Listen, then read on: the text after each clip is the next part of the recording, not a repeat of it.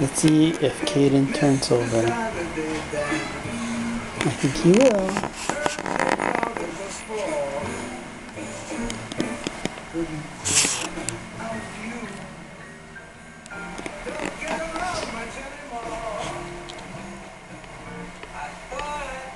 There he goes.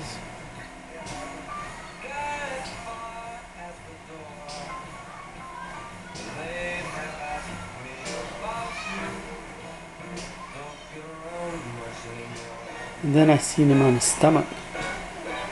Oh, there he is, rolling over. No problem. Soon he'll be crawling.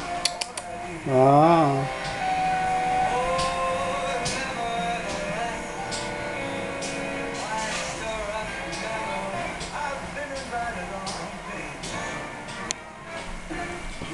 It's all free.